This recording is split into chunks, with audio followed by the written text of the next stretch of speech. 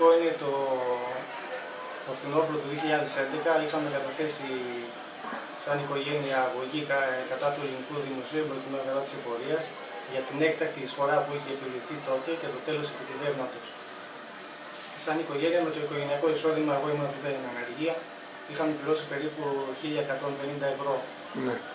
Η υπόθεση αυτή ήταν να εκδικαστεί το 20 Μαΐου του 2016 τώρα. Λο- ε, Ήταν τότε η απεργία των δικηγόρων, πήραν αγωνή και σήμερα εκδικάζεται η υπόθεση 12 η ώρα από το Δικείο της Χίου. Ναι.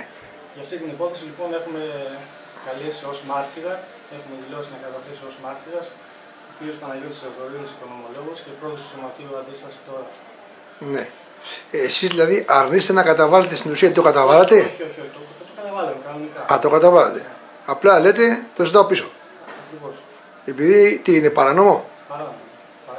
Παράνομο με βάση και τους νόμους που έχουν. ε, Δηλαδή, ο κ. Θεοδωρίδης θα σταθεί αναλυτικά Ναι.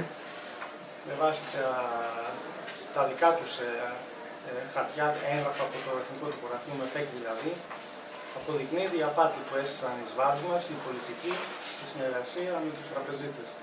Και μας φόρτωσαν αυτό το δυσθεώρητο χρέος που Ε, όλοι έχουν καταλάβει ότι είναι... Υπάρχει άλλη δίκη που να έχει γίνει στην Ελλάδα με το δικαι- το δικείμενο αυτό; Εγώ προσωπικά δεν γνωρίζω για, πα- για παρόμοια περίοδο. Ο δικηγόρος μου είχε πει τότε εδώ, εδώ στοιχείο, είχε καταδεχθεί άλλη μία αγωγή από έναν δικηγόρο, ο οποίος τελικά την πήρε πίσω.